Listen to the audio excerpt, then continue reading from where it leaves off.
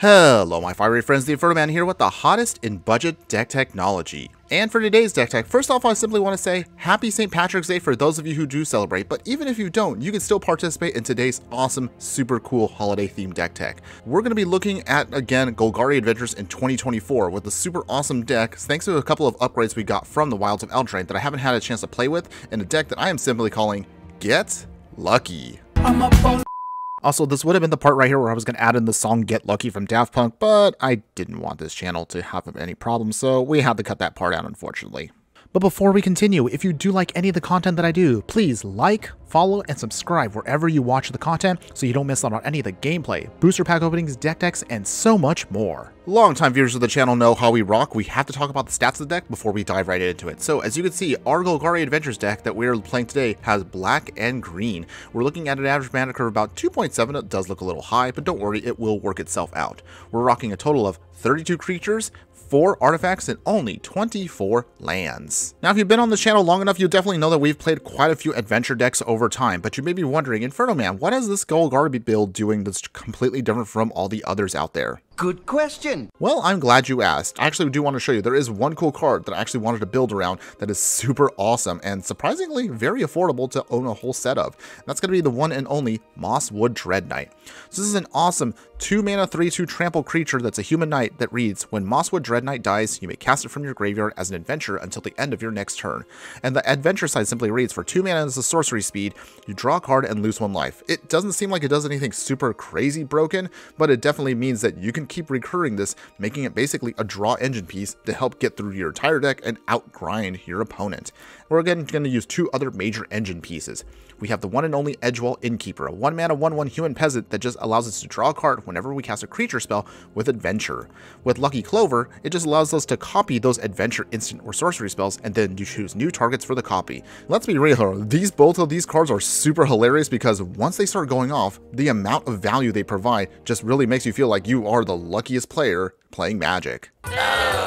Anyways, moving on to the creatures themselves, which of course are really awesome for the fact that if you haven't played an adventure deck before, you basically get an instant or sorcery staple to each of your creatures, allowing you to get a ton of extra value, which is one of the biggest advantages of playing a deck like this, since you really only have to focus on just putting in all creatures with the deck. Now, speaking of those creatures, in the one drop slot, we have Foulmire Knight here, which is, I, I guess it was just Mosswood Dreadknight before it, Mosswood Dreadknight was the thing, but you get the idea. Still allows you to draw a card, and it's a 1-1 Death Toucher. Order of Midnight here is going to be a creature that has flying. It unfortunately can't block, but its adventure side allows it to bring a creature back from the graveyard. We have Murderous Rider in the 3-drop slot here, which is our removal on the adventure side, and on the creature side, it's a 2-3 lifelinker where even if it dies, you can put it into back into your library at the bottom. As far as our other 3 drops, we also have Lovestruck Beast here, which on the adventure side creates for us a token, but also the creature can come down as a 5-5 for 3 mana, which is actually a really good price. However, remember, it cannot attack unless you control a 1-1 creature. Rosethorn Acolyte here on the adventure side allows us to then mana fix. On the 3-drop creature side, it can then tap itself to then also do some mana fixing.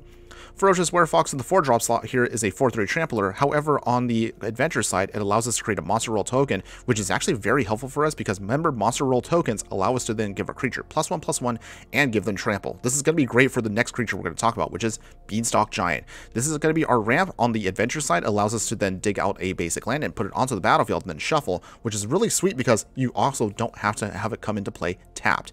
And on the creature side, its power and toughness are equal to the number of lands we control. You'll notice that I actually did forget one actual creature, which is actually going to be our finisher for the deck, which is Smitten Swordmaster. This human knight is a 2-1 lifelinker, but on the adventure side, for only single mana, you can gain X life and each opponent loses X life, where X is the number of knights you control. Although we are not primarily a knight deck and we're mostly focused on the adventure side, we do actually have a decent amount of knights with Foulmire Knight, Order of Midnight, Mosswood Dreadknight, and of course the Murderous Rider to ensure that we can get the max amount of value out of a Smitten Swordmaster. But of course the hilarious part is, even if you actually only utilize just one of these cards, Lucky Clover along with it can remember then allows it to copy itself, which sometimes can finish off an opponent very quickly out of nowhere.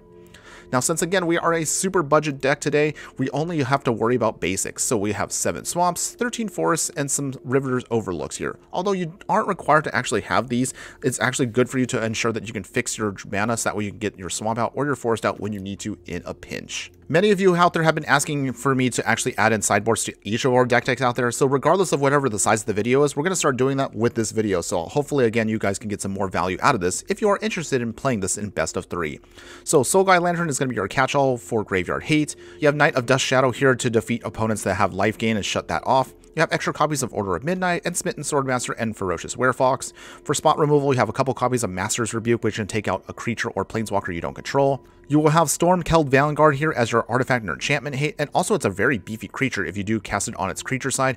And then finally, you have Syr Konrad the Grim. This is actually a really cool card here that can actually then mess with your opponent if they do have a lot of graveyard shenanigans. So for those of you who actually haven't seen this card, I've actually put it together in its own individual super budget brawl deck, but it otherwise reads, Syr Konrad the Grim is a 5 mana 5-4 human knight that says, whenever another creature dies, or a creature card is put into the graveyard from anywhere other than the battlefield, or a creature card leaves your graveyard, Syr Konrad deals 1 damage to each creature, and for 2 mana, you can mill a card. Woo! This does seem to uh, do a lot, but with our deck and against certain opponent decks out there, this can be a great hoser against them if they are pulling off some graveyard shenanigans. Now, as far as tips for the deck, ideally, in your opening hand, you should have at least one Edgewall Innkeeper or one Lucky Clover. If you get both, that's even better, but at least one of these will help start getting your engine going. With that, ideally also, if you can sequence your cards perfectly, it should be at least turn 1 Edgewall Innkeeper, turn 2 Lucky Clover, and then turn 3 is going to be something like your Beanstalk Giant to help you start ramping out a ton of extra value, or you can have Rosethorn Acolyte to help fix your mana to make sure you can cast what you need on time. Even if you don't have these cards out, sometimes you might have to focus on the beatdown plan, but that's of course where your Lovestruck Beast can come into play, where you can then cast the Adventure side to create a 1-1 creature token, and then Lovestruck Beast out on turn 3. If you do have some creatures that again can provide extra value when you have a Lucky Clover out there, one of the biggest things you got to be tricky about with this deck is being very careful as to what you're removing. So say like you have a Lucky Clover out and you're utilizing Murderous Rider. The biggest downside of that card is if you have extra copies, you might end up losing those because sometimes the original one might end up not hitting anything. So be very careful as to what you're targeting if you are also getting extra copies of said card. With that, don't be afraid to be aggressive with your card draw here because you have plenty of ways of drawing stuff with your Foulmire Knights, your Mosswood Dreadknights. Lucky Clover, as I mentioned earlier, will then copy those extra card draw abilities. Edgewall Innkeeper sometimes may be better to just cast the creature as is instead of holding off with your adventure side mechanics. Be very careful, of course, because you're going to have to really kind debate back and forth as to what's best for you. But of course, once you get a board built up, depending on how your opponent's handling things, you can either cast off your Ferocious Werefox's ability to then create some monster role tokens to push through damage with your Beanstalk Giants, or if you're having a moment where you're going to have to deal with a lot of wraths, that's where your Order of Midnight can come in to then start copying with Lucky Clover to hopefully bring back your creatures and keep casting them for additional value. One of the biggest advantages the deck has is it is very grind happy. So if you're a person that likes to grind out your wins and you like to build up a ton of value, this is definitely going to be a deck that's going to help you get there. However, one of the biggest weaknesses to the deck is if you're trying to cast the adventure side and maybe your opponent has, say, counter spells, you're going to have a bad time because not only will you be unable to then cast the creature, but also the spell itself that you're casting on the adventure side will also be gone too. So it feels like you're going to lose two spells for one counter spell, which can really feel a little sad at times. However, even if you can get a couple extra copies, sometimes that value may outdo the counter spells depending on what kind of opponent you have. If you do manage to build up a board of, say, knights, save your Smitten Swordmasters until the very end, so that way you can then hopefully just build up a ton of value, drain them out just enough where even a one big desperate swing could mean the difference between getting a victory or defeat. However, remember that for its ability, you have to actually cast it as sorcery speed, so ideally, cast your Smitten Swordmaster before you swing for combat. If you do like this style of deck, I have sprinkled throughout this video links to former deck techs containing variants using different colors and different formats, so be sure to check those out if you want to see what adventures you can go on. Ah, ah, see what I did there? Boo, you stink! But in any case, here are my final thoughts that I want to give on the deck. Adventure-style Clover decks have always had great value, but with our recent romp through Eldraine again, have really created more variants that push the mechanics into more diverse territory, and you can build them as monocolored or even five-colored decks out there. Speaking of, I actually do have one other adventure-style deck tech out there in the future, but I haven't finished actually the deck yet, and it's going to need a little more time to refine, so be sure to be on the lookout for that. Maybe we'll get it out sometime during the summer. Otherwise, if you're a fan of spell copying, if you're a fan of grindy gameplay, if you are a fan of fun theme decks for the holidays that I like to build these for, by all means, give this deck a try, and I assure you, you'll love the value it provides for you. You'll be impressed at how well and powerful it is, even on a budget, and whether you play this for St. Patrick's Day or if you want to play it at any other time of the year, you will definitely not be disappointed. That's all I have for you today. Thanks again for watching, everyone, and just remember that no matter what you do play in the game of life, always be sure to burn bright. Later.